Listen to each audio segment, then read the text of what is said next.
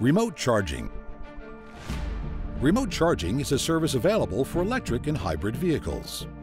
It gives you the opportunity to control remotely the charging of your car while connected to the grid using the Skoda Connect app. Select the battery charging tile. Here you can see the remaining capacity of your battery in percent and, by swiping to the right, you can change the value to remaining electricity range. You can also see the current status of the battery, if the charging cable is connected and if the charging flap is locked.